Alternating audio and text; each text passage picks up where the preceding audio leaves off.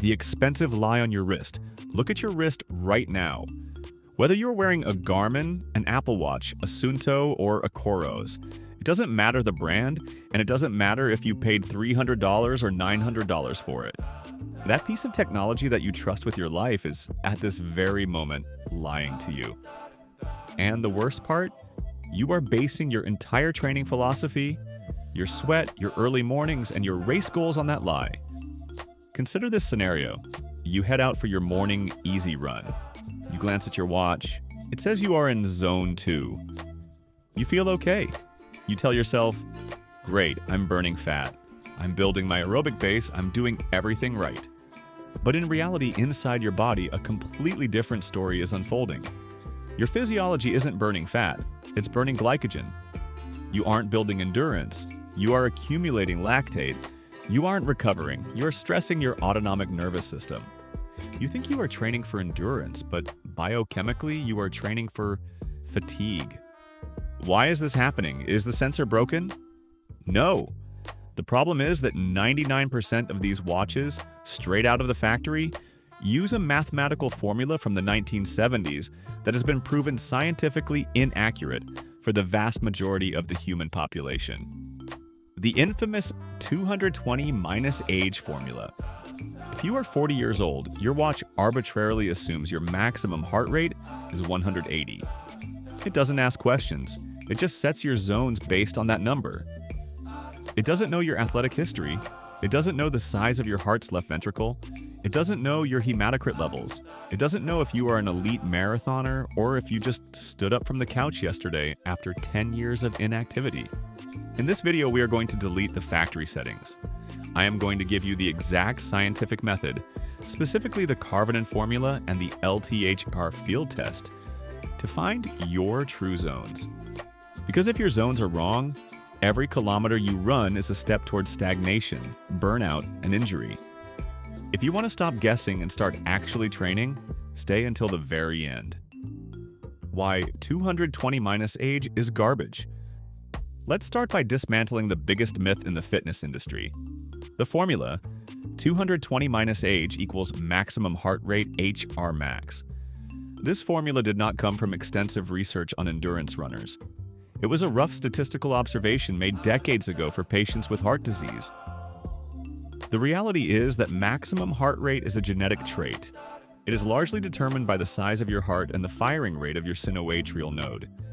It is like your height or your eye color. It does not decline linearly with age for everyone in the same way.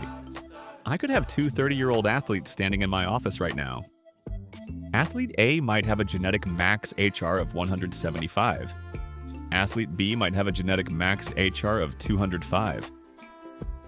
Both are perfectly healthy. But if I train athlete B using athlete A's zones, I will force him to run at a snail's pace. He will think he is doing a recovery run, but his watch will scream that he is in zone 3 or zone 4. He will feel like a failure when in reality his data inputs are simply wrong. However, the biggest problem isn't just the ceiling, max heart rate. The biggest problem is the floor. Standard watches completely ignore your resting heart rate, RHR. Let's use logic for a second. Imagine a 40 year old sedentary individual who smokes and has a resting heart rate of 80 beats per minute. Now imagine a 40 year old competitive marathon runner with a athlete's heart and a resting heart rate of 45 beats per minute. According to the 220 minus age formula, both of them have the same max HR, 180. Therefore, the watch calculates that both of them should run their easy run at 130 beats per minute. This is biologically ridiculous. For the marathon runner, 130 beats per minute is a warm up. He is barely sweating. For the sedentary person, 130 beats per minute might be a moderate to hard effort, pushing him close to his aerobic threshold. If you do not account for the floor, resting HR in the equation, you are ignoring the most significant indicator of your current fitness level. And this leads us directly into the black hole of training. The trap of the gray zone, junk miles. What happens when your watch zones are set incorrectly? You fall into the gray zone. The gray zone is usually what I call the fake zone 3. It is that specific pace where you feel like you are working, you sweat, you breathe a little heavier, it feels gratifying. You can hold it for 45 or 50 minutes. When you finish, you look at your stats and think, I had a good workout today. I pushed myself. The hard truth? Training wise, you accomplished nothing. You ran too fast to elicit the benefits of Zone 2. You didn't maximize mitochondrial biogenesis. You didn't teach your body to oxidize fat as a primary fuel source. You didn't increase capillary density efficiently. You were burning sugar. Simultaneously, you ran too slow to elicit the benefits of Zone 4 or 5. You didn't improve your VO2 max. You didn't push your lactate threshold up. You didn't force your body to become efficient at clearing lactate. So what did you do? You simply fatigued your body. You created metabolic waste, reactive oxygen species. You stressed your adrenal glands, spiking cortisol unnecessarily. You accumulated mechanical stress on your joints, but you gave your muscles no clear adaptation signal. These are what we call junk miles. And then you wonder, why has my 10K time been stuck at 50 minutes for two years, even though I run four times a week? You are stuck because you are constantly training in the middle, in mediocrity. To break through a plateau, you must polarize your training. Your easy days must be embarrassingly easy. Your hard days must be brutally hard. And to do that, we need to fix the numbers, right now. The solution. Part 1. The Karvonen Formula.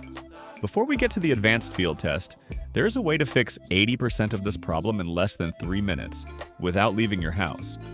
You just need a calculator or your phone. We are going to use the heart rate reserve, HRR method also known as the Karvonen formula. Step 1. Find your true resting heart rate.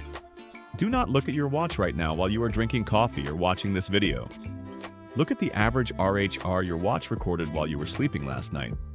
Or measure it manually the second you wake up in the morning, before your feet hit the floor. Let's assume for this example that your resting HR is 50 beats per minute. Step 2. Estimate your maximum heart rate. If you haven't done a clinical VO2 max test, check your watch history. What is the highest number you have ever seen at the end of a 5K race where you sprinted to the finish line? Or during a hill repeat session where you thought you were going to die? Let's assume you saw 185 beats per minute. This observed max is infinitely more reliable than 220 minus age. Step 3. Calculate the reserve. Subtract the resting from the maximum. 185 max minus 50 rest equals 135. This 135 is your heart rate reserve. This is the specific engine capacity you have available to use during exercise. Step 4, the calculation. Now, we don't just take percentages of the max. We take percentages of the reserve and then ADD the resting HR back in. The formula is target HR equals reserve times percentage plus resting HR. Let's find the famous Zone 2, which is typically 60% to 70% of your effort. Lower limit, 60%, 135 times 0.60 plus 50 equals 81 plus 50 equals 131 beats per minute. Upper limit, 70%, 135 times 0.70 plus 50 equals 94.5 plus 50 equals 145 beats per minute. So your scientifically calculated zone 2 is 131 to 145 beats per minute. Now, pay attention to the difference. If you use the standard factory method, simple percentage of max 185, 70% would be 129 beats per minute. Do you see the problem? With the old method, your watch would be screaming at you to slow down at 130 beats per minute. It would be telling you that you are training too hard. In reality, based on your fitness reserve, you have room to push up to 145 beats per minute and still be in the fat burning zone. You have been forcing yourself to run awkwardly slow, ruining your running mechanics and feeling miserable for absolutely no physiological reason. Go right now into your Garmin settings. User profile, heart rate and power zones. Heart rate. Zones based on. Change it from percent max HR to percent HRR, heart rate reserve. Input your correct resting HR. You will see that suddenly your zones make sense.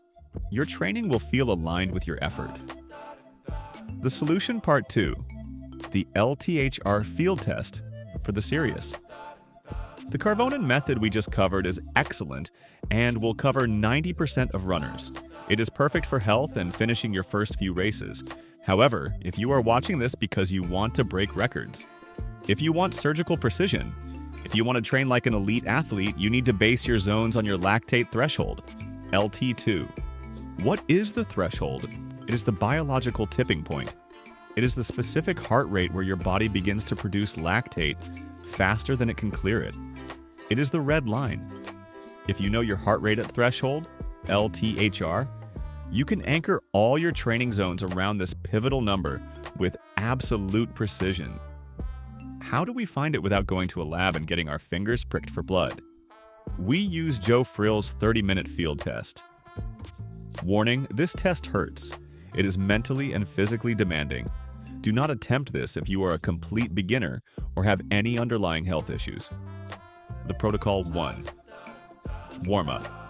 Run easy for 15 minutes. Do 4 to 5 strides, short accelerations, to wake up the legs and heart. 2. The main set.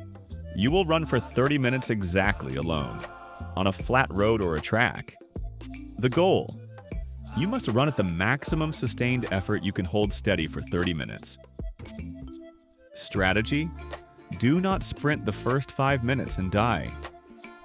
Do not start slow and sprint the end. You need to be on the limit of comfortably hard the entire time. You should finish feeling like you couldn't run another 100 meters at that pace. 3. The measurement. At 10 minutes into the effort, press the LAP button on your watch. At 30 minutes, the finish, press stop. The result, look at the average heart rate of that specific 20-minute lap, the last 20 minutes of the run. This number is, with an accuracy of plus or minus 2 beats, your lactate threshold heart rate, LTHR. Let's say your average was 172 beats per minute. Now go into your watch settings, select zones based on percent of LTHR, and input 172. What happens now is magic. Your Zone 4 threshold starts exactly under 172. Your Zone 5 VO2 max is everything above 172. Your Zone 2 is typically calculated as 80 to 85% of that 172. Now, you're not guessing. You know. You know that if you are running a tempo run at 168 beats per minute, you are safe. You are improving your threshold without breaking it. You know that if you drift up to 174 beats per minute, you are on borrowed time, and the clock is ticking before your muscles fail. This is the tool that allows you to execute a perfect negative split and destroy your personal bests. The meaning of each zone, why we do this. Now that you have fixed the numbers, you need to understand what they mean biologically. These aren't just colors on a screen. They are different energy systems. Zone 1 and 2, the base. Here you are training your mitochondria. You are teaching your body to be a fat-burning machine. You are increasing the density of capillaries, the tiny blood vessels that deliver oxygen to muscles. You should be spending 80% of your total weekly volume here. If your zones were wrong before and you were running slightly too fast, you were bypassing fat oxidation entirely. You were emptying your glycogen stores on easy days, leaving you empty for the hard days. Zone 3, the gray zone, as we discussed, we generally avoid this for general fitness. However, for advanced marathoners, this is race pace. We use it specifically and intentionally within long runs to simulate race fatigue, but never randomly. Zone 4, Threshold. Here, we increase our tolerance to lactate. This zone hurts, but it is a manageable hurt. It's the comfortably hard sensation. This is where you become a faster endurance runner. This is where you build the engine for a sub 40 10,000 or a sub 130 half marathon. Zone 5, VO2, max. This is pure horsepower. The heart is working at maximum capacity. We visit this zone for short intervals, 2 to 5 minutes, to raise our genetic ceiling. It is very stressful, so we use it sparingly. If you don't clearly separate Zone 2 from Zone 4, you are essentially making training soup. All your runs look the same, they feel the same, and your body stops improving because it gets bored of the same mediocre stimulus. Beyond the numbers, the exclusive membership. I know that all these numbers, the Karvonen formulas, and the LTHR test might seem like a mountain of information. And the truth is, data alone is not the solution. The interpretation of data is the solution. Knowing your heart rate zones is just the first step. Knowing what to eat to fuel those specific zones. Knowing how to optimize your sleep architecture to lower your resting heart rate. Knowing how to read your blood work to see if your body is absorbing the training load. That is the next level. In my exclusive membership channel, we don't just stop at running mechanics. We dive deep into the total biology of the athlete. We discuss how to analyze blood biomarkers. We discuss how stress impacts your hormonal profile. Testosterone for men, cycle for women. We discuss lifestyle optimization strategies that complement your training. There, we have the time and the space to analyze topics that simply do not fit into a standard YouTube video. If you are interested in learning how the machine works and not just how to steer it, the access link is in the description. I'll see you there. But let's return to your watch and your run tomorrow. Today, I gave you the knowledge to stop running blind. I gave you the method to turn the gadget on your wrist from an expensive toy into a precise scientific instrument. Here's my challenge to you. Do not go for a run tomorrow unless you have fixed your zones. Sit down, take your phone out, and do the math. Find your resting heart rate. Calculate your reserve. Or if you feel ready and strong, go out and execute the 30-minute LTHR test. Once you lock in the correct numbers, you will see that running changes. Your easy runs will finally feel truly enjoyable, guilt-free and restorative. And your hard runs will feel truly explosive and purposeful. Now, if all of this sounds too complex, if you are afraid you might miscalculate, or if you simply don't know how to take these numbers and build a weekly plan that leads to a personal best, then perhaps you need someone to do the math for you. As a coach, my job isn't just to write kilometers in an Excel sheet. My job is to analyze your data, to watch how your heart responds to stress, and to adapt the plan to your specific physiology, week by week. If you want to join my team and train based on science, not luck, my contact details are in the pinned comment. Send me a message and let's discover your true potential. Happy training in the right zone. Your running journey powered by science.